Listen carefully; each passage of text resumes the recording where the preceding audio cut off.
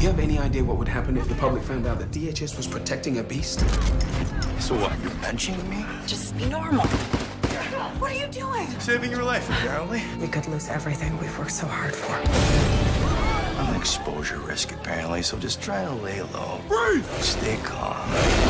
It's not easy. She knows more than she's letting on. Her heartbeat doubled. Beast sense? Beauty and the Beast, the final season, continues this Thursday at 9, 8 central on the CW.